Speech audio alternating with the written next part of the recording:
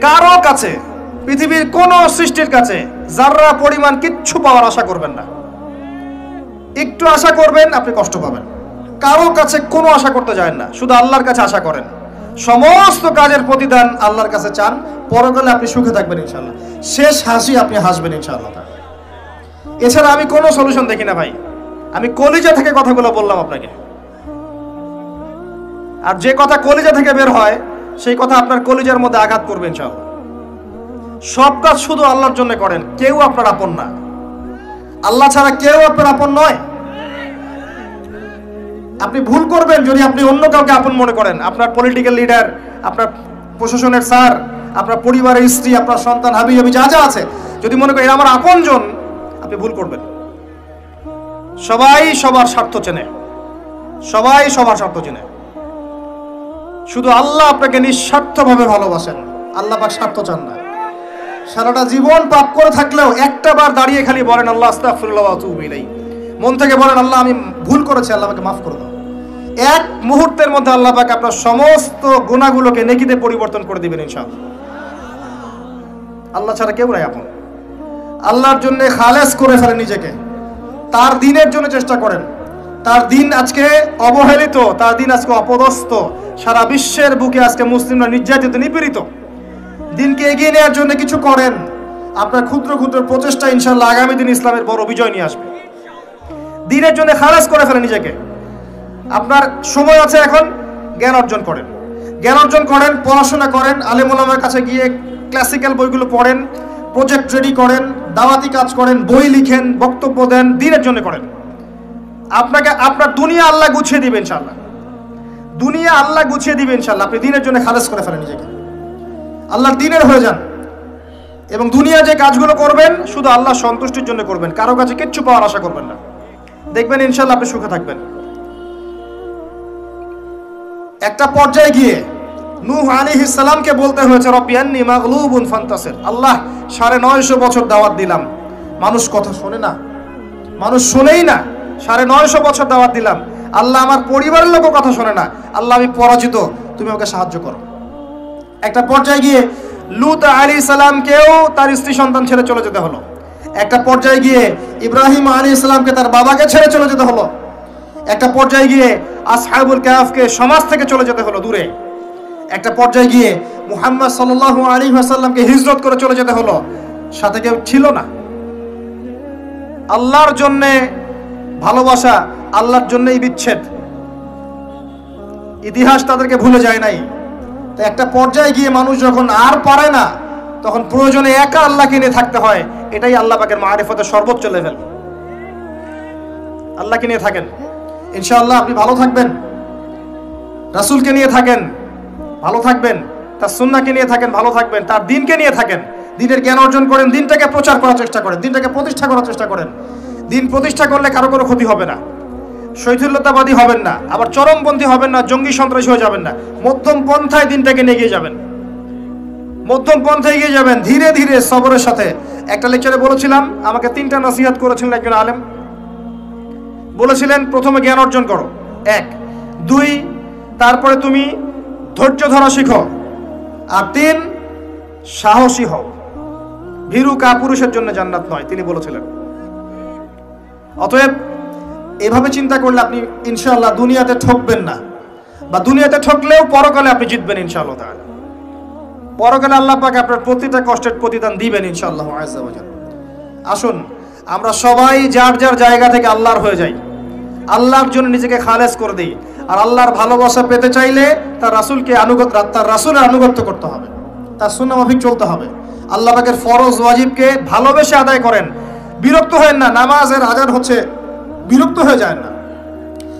ভালোবেসে নামাজে যান, যে আল্লাহ আমার কাছে একটা ইবাদত চেয়েছেন, আমার রব, আমার সৃষ্টিকর্তা আমাকে একটা সুযোগ দিয়েছেন, আমার কাছে একটা ইবাদত চেয়েছেন, শ্রেষ্ঠা চেয়েছেন, আল্লাহ আমার কাছে কি আর চেয়েছেন?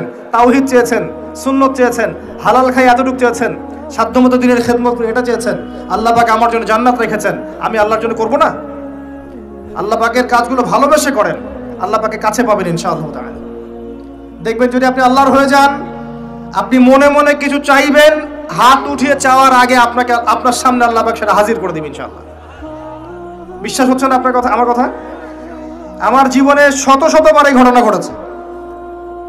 মনে মনে চিন্তা করছি যে এটা দরকার, এটা হলে ভালো হতো। এমনকি এমনও চিন্তা করছি, এটা খেতে ইচ্ছা করছে। সামনে গিয়ে দেখে হাজির। একটা কথা মিথ্যা বানিয়ে বলছি না, আল্লাহর কসম। এমনও হয়েছে যে আমি মনে মনে চিন্তা করেছি যে এটা খেতে ইচ্ছা করছে, খেতে পারলে ভালো লাগতো। যেখানে গিয়েছি, দেখি সেই বাড়ির মালিক সেটা সার্ভ করেছে। এমন একটা ঘটনা আপনাকে বলি, যে আমি এক জায়গায় যাচ্ছি, জিজ্ঞাসা করছি যে কি রান্না করছ? বলছে, খিচুড়ি রান্না করছে। ঠিক আছে। খুব খুশি, খিচুড়ি খাব বাসায় গিয়ে। কোনো একটা কারণে রাস্তায় আমার একটা বিপদ হলো। বিপদ হওয়ার পরে আমি বাসা যেতে পারলাম না। কোনো একটা জায়গায় আমাকে থাকতে হলো। অল্প সময়। সেখানে আমার পরিচিত তিনি ভাই, সে আমাকে বলছে, কিছু খেয়ে নেন। ঠিক আছে, কি আছে, নিয়ে আসেন। খাবার নিয়ে আসা হলো, দেখলাম খিচুড়ি। কথা কি বুঝতে পারছেন? দেখে আমার চোখ দিয়ে এক ফোঁটা পানি পড়ল খাবারের উপরে। যে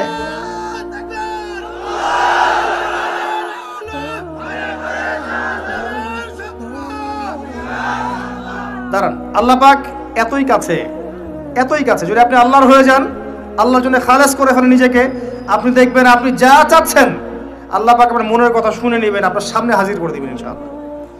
কিচ্ছু ভাববেন না। আল্লাহকে ছাড়া কোনো দিকে ভাবার দরকার নাই। আল্লাহ দিন আজকে একটা চরম অবমাননাকর জায়গার মধ্যে আছে। আপনি বুঝতে পারছেন না। দুই চোখ দিয়ে দেখেন, সারা বিশ্বের প্রেক্ষাপটের সাথে মুসলিমদের অবস্থা মেলান, দেখবেন আমরা আর সে আগের জায়গায় নাই। আমাদের অবস্থা এখন ভালো নয়।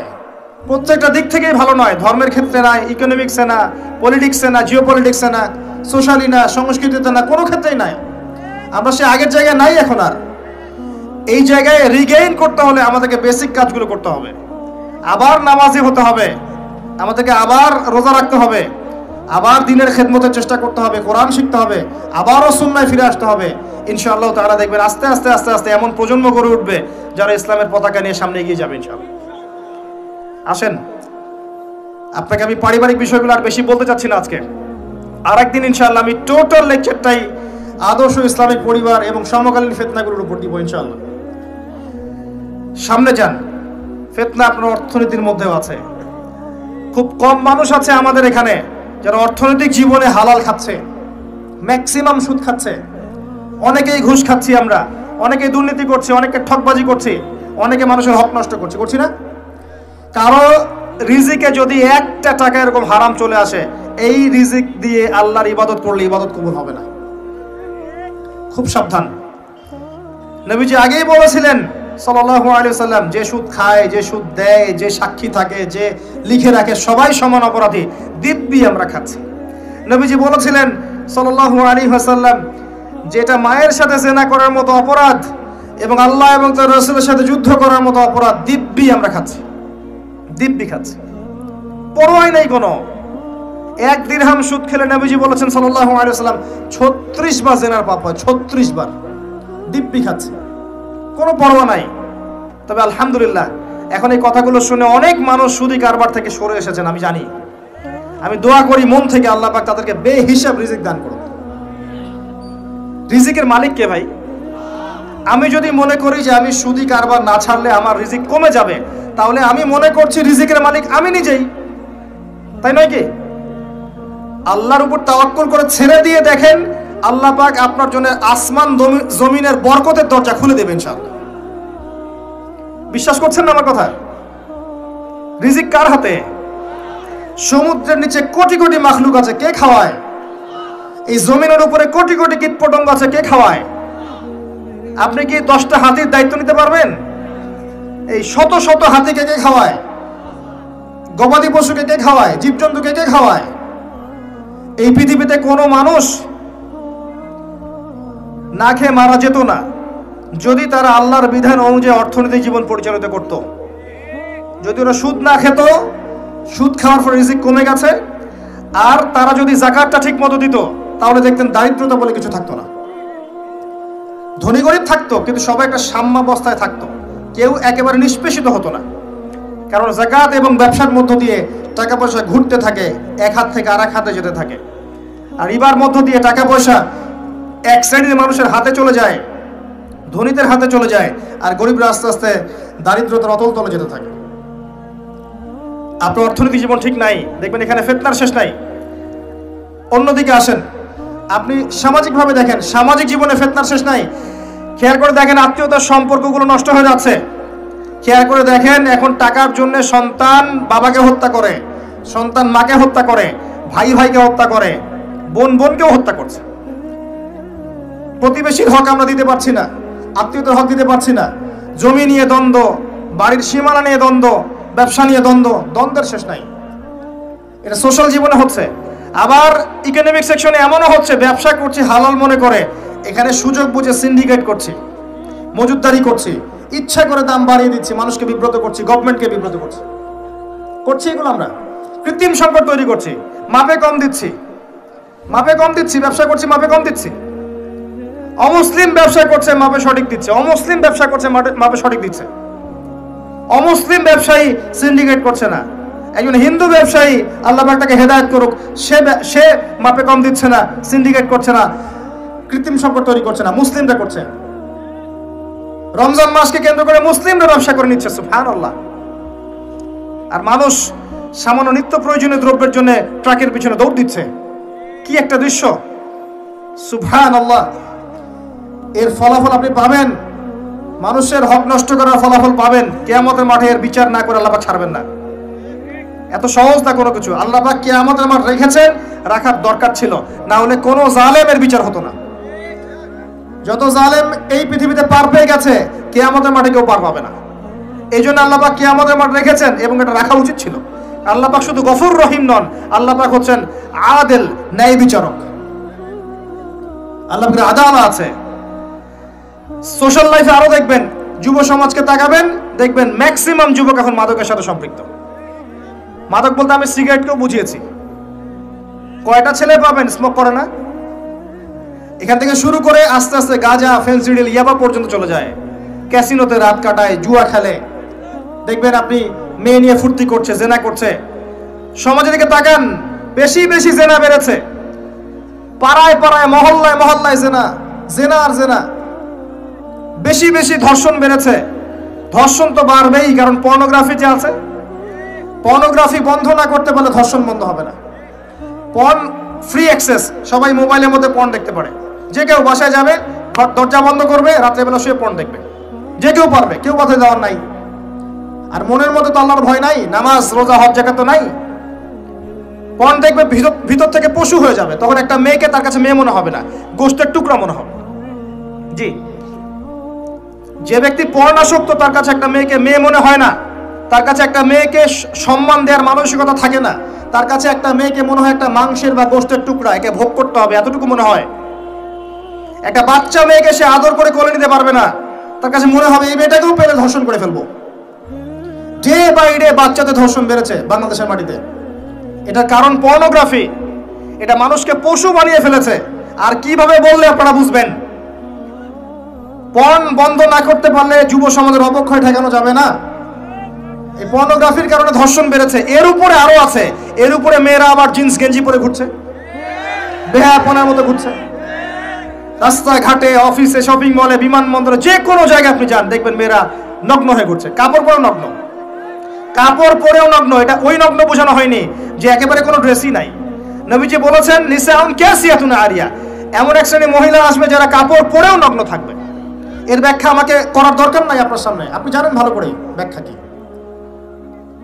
কাপড় পরে নগ্ন থাকবে। এগুলো ছড়িয়ে দিচ্ছি এগুলোকে উস্কিয়েও দিচ্ছি। এবং যখন কেউ পর্দা করতে যাচ্ছে, বলছি, এ মৌলবাদী হয়ে গেছে, সন্ত্রাসী হয়ে গেছে। এ ব্যাকডেটেড হয়ে গেছে। বোরখা পরে, পরীক্ষা দিতে আসছে কেন? নেকাপ খোলো। এরকম করছি আমরা ওর সাথে। জি। আবার মেয়ে, ছেলে ফ্রি মিক্সিং দিয়ে দিচ্ছি। ছেলে মেয়ে স্কুল লাইফ থেকে শুরু করে একদম জব সেকশন পর্যন্ত প্রতিটা সেকশনে এরা ফ্রি মিক্সিং ফ্রি মিক্সিং পর্যন্ত গায়ের মাহারাম একে অপরের সাথে মিলেমিশে কাজ করবে। এটা হচ্ছে কাঁধে কাঁধ মিলিয়ে সমাজ বিনির্মাণ সুবহান আল্লাহ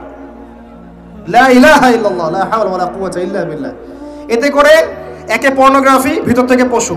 তার উপর নগ্নতা, তার উপর ফ্রি মিক্সিং তার উপরে আবার উস্কে দেওয়া হচ্ছে এগুলো কাছে আসার গল্প।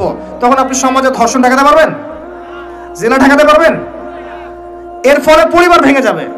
বাসায় বউ থাকবে, বাইরে মেয়ের সাথে জেনা করবে। বাসায় পুরুষ থাকবে বাইরে পুরুষের সাথে করবে। এই হলো সামাজিক কাঠামোর অবস্থা। এর উপরে আবার আছে মাদক, এর উপরে আবার আছে আপনার বস্তুবাদী জীবন ব্যবস্থা। সব মিলিয়ে সমাজটা আগের মতো নাই। এটা ইসলামিক সমাজ। আমরা নাইনটি পার্সেন্ট মুসলিমের দেশে বাস করি। এটা ইসলামিক সমাজ। দুই চোখ দিয়ে দেখেন। আমি আপনাকে এক চোখ দিয়ে দেখতে বলছি এক চোখ দিয়ে দেখলে মনে হবে সব ঠিক আছে। ভিতর থেকে দেখেন কিচ্ছু ঠিক নাই।